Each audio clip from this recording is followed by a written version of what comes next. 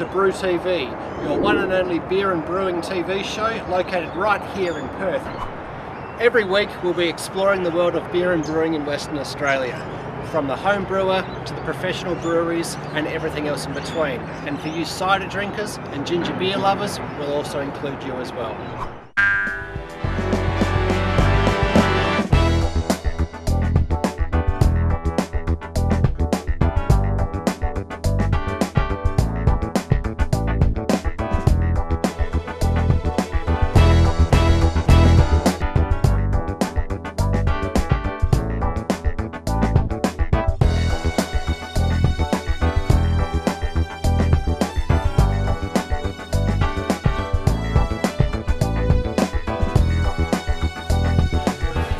Welcome to Brew TV. It's great to see you again. On tonight's show, we're down here at the Bush Shack Brewery in Yallingup to talk to you a little bit about things called adjuncts in beer. More on tonight's show.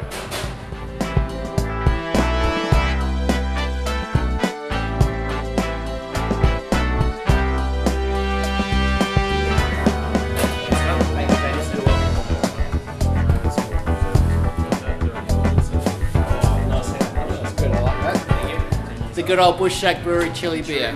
One of the reasons why we've come to the southwest to get warm. Any of you that have been to the Araluen Chili Festival will know that this one's got that beautiful little bite and something that's a little bit different in beer, and that's adding adjuncts. So Daniel, tell us about the adjuncts and how you use them in your beers. All right, John. Well, as you know, we've got a number of different ingredients that we use in our beers, and they're used in spe- for specific beer brewing purposes, not to actually flavour the beer. The ambers are the classic example of what I'm talking about. With our chili beer, the chili is actually used to boost the Pilsner malt flavours, not to be the main flavour of the beer. So you have a beer that comes across as a traditional German Pilsner with just a mild afterbite. There's no capsicum chili-like flavours residual in it. Similar with the strawberry blonde, we've used 30 kilos of fruit in that brew, but it goes into the fermentation process. So all that fruit flavour along with the fructose, the fruit sugars is eaten up during fermentation. You get a higher alcohol percentage, which also aids in the development of the flavours of the beer. But you end up with a cloudy, dry tasting pale ale, not a mouthful of strawberry jam. Uh, twisted lemon lager, lemon right, nice bittering agent?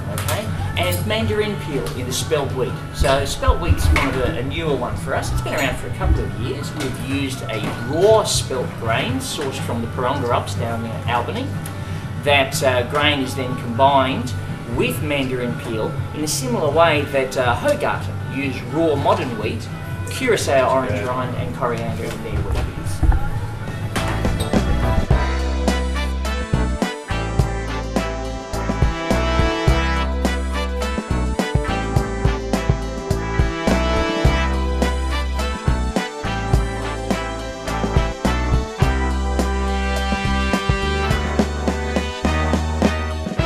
here in the brew house at the Bush Shack Brewery with Josh, one of the brewers. So Josh, tell us what you've got here.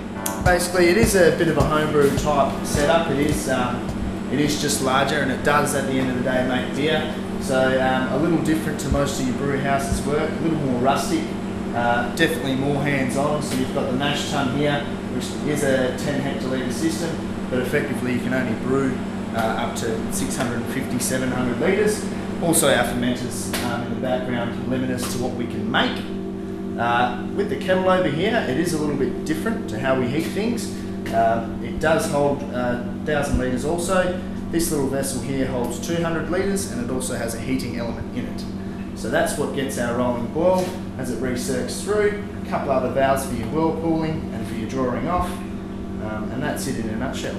Uh, we get quite good extraction with that boiler too. So um, although it does look a bit different and it is a different way of boiling your wort, uh, it does the job. It definitely does the job. Absolutely And that's all that matters. From a from a small brewery point of view, you're one of the very few people that actually bottle their beer. That's it. Uh, to get a, a bottling machine is quite an expensive um, piece of equipment. This But one to have, yeah. Well, this this here is just a chilling unit. That's yeah. the bottling machine.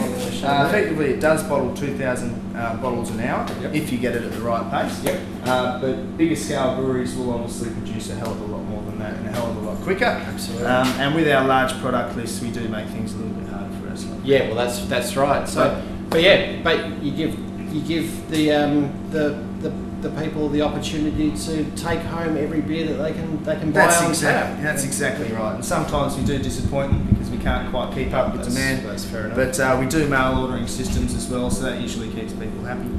Um, and they always come back for more anyway. Fantastic. That's the idea. That's, that's what it's all about. Good on you, Josh. No. Thanks very much. Thank you, John.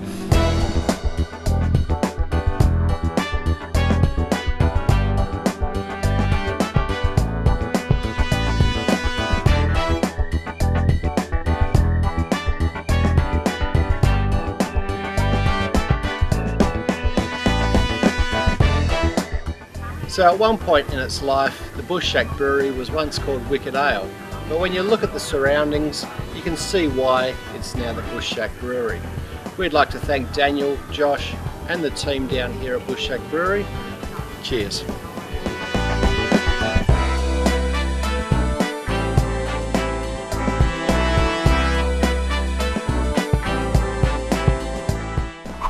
So, time to bottle our beer. Most of you out there who have done home brewing in the past or are still doing home brewing, you might be using your smaller 375ml stubbies. Personally, bottling it's not too flash. It takes a long time to bottle, uh, and you need a lot of small stubbies to begin with. Also, nowadays the newer glass bottles aren't really made for second use. They're all single-use glass bottles, so you've got higher potential for breakages um, and also explosions. So just bear that in mind. Always look for the recycle, uh, recyclable or refillable glass. These are no refill or recyclable glass. It actually says it just on the top here. But how many stubbies do you need to fill a whole batch? Quite a few, so you need a fair bit in reserve. Just another note as well, you will see here I'm using all amber glass. Amber bottles are made for a reason. You've also got the dark green glass and you've even now got black bottles. Clear glass allows for the light to penetrate into your beer and cause a lot of problems with flavour and aging of the beer. Amber bottles are like your tinted sunglasses or your window tinting. They filter out that sunlight and stop any of those problems. So, we're not using small bottles. We are using the larger bottles. These are all 750 ml. Now, for you purists out there, block your ears. Most companies now are making plastic, the PET bottles, the, the PET bottles. These are food safe, they're recyclable, and they're also an amber, and they're plastic. A Couple of benefits with plastic. They don't break if you drop them. Also, if you haven't got things quite right, uh, they don't explode. They just expand and they get very tight, but they won't explode. Now, some of you may like these, some of you don't like these. The problem with them is you can't store your beer for a long period of time because the CO2 will eventually leach out of them and your beer will be flat. So, good for short term. Good for beginners. If this is your first batch, like Marlin's, absolutely fantastic. On to the next option the flip top glass bottles. Like the Grolsch bottles, the German beer Grolsch, uh, the flip top bottles are absolutely fantastic. They're a heavy gauge glass, nice and solid. Flip them over, it's a bit slippery, pop it on, lock it down, gives a really good seal. The best thing about these is they're reusable. Once you've finished drinking your beer, clean them out as per usual, and you can now buy replaceable silicon grommets to reseal it. So it makes cleaning a lot easier. You don't have to worry about cleaning this rubber grommet or the silicon grommet. You just take these off, replace them, good to go. Absolutely fantastic. On to something that I've been doing for a while. You can still get refillable glass bottles. It takes some looking for, however. I find these in the classifieds, Gumtree, things like that. There's a lot of old home brewers out there now that are going to kegging or something like that, and they want to get rid of their old glass bottles. These were the old original ones. This is an old Swan Brewery one. It's refillable. These were the old bottles you used to take back as kids to the shop and get 10 cents a bottle for. Nice heavy gauge glass. You can use these time and time again. After all, that's why they were originally made. And here we use a crown top. So that's the bottling. Don't worry, all you keggers out there, we're going to talk about kegging in a couple of weeks' time.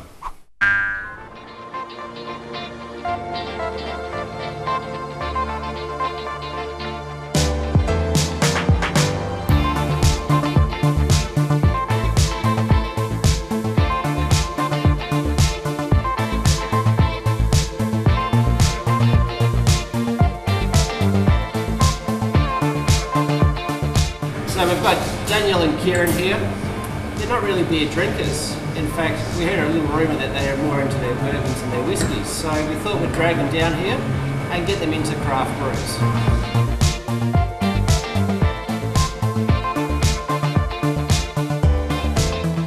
That second beer that you were given there, Riverside Lager, um, style of beer is a Munich Lager or a Hell, Helles, as the uh, German translation goes. Um, very closely related to your Pilsner style of beer. Um, same ingredients, except the balance of the ingredients is slightly different. So with your Pilsner, um, the hops are a bit more forward, the malt plays a support role, but with the Munich style lager, Riverside Lager, changes. So the grain's more at the front of the beer, it's more pronounced, and then the same hops you'd find in your German Pilsner are there, but they play more of a supportive role. Talking through all these beers, how you balance your, your hops and your grain that'll give you your, your certain style of beer.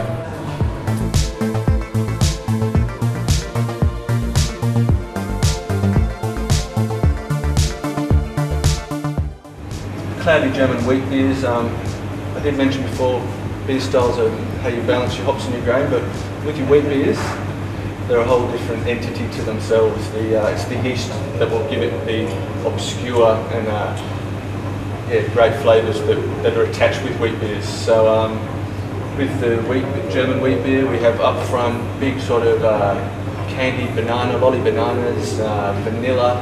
Um, as obscure as it may sound, some kind of uh, bubblegum, juicy fruit bubblegum type character, as odd as it may seem, but um, and these flavours are all derived from the yeast.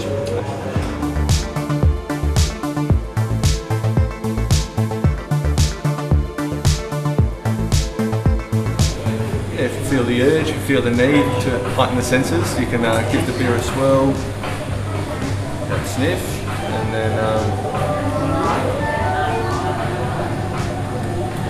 let them flavours work on the palate. So um, get your Angus Pale Ale there, mate. So um, this is a American Pale Ale. Um, when I say American Pale Ale, the um, American craft beer scene, they're probably the world leaders. They're about 10, 15 years ahead of our scene. Um, and they've come up with a lot of new hop varieties which are quite big, bold, and uh, quite pungent. Um, find the uh, hop characters can be some somewhat too much for some some for some uh, drinkers, but um, yeah, we've got some nice hop flavour, some citrus type character predominantly coming through. Um, flavours that I can get on my on my nose and uh, on the palate are some kind of passion fruit, grapefruit, guava type flavours, which I find quite appealing. And um, yeah, on the tail ale, you get a good good punch, good bang of bitterness there to sort of round out the beer. So yeah, that's our Angus Pale Ale.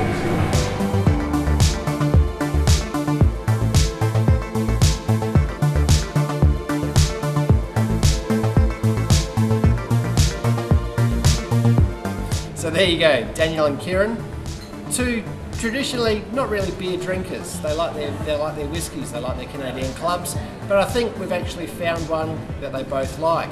Boys, The one, the one that we both like is the um, the wheat heritage beer. It's very like soft taste. It's very mellow, not bitter. That's what we both fell in love with.